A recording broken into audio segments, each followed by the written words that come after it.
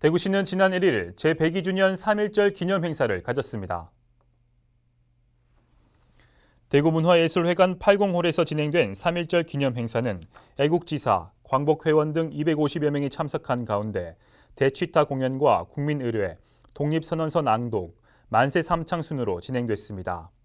한편 권영진 시장은 국립시남선열공원 묘역을 참배, 호국 영령의 넋을 기리고 국채보상운동기념공원에서 3.1절 기념 타종식을 가졌습니다.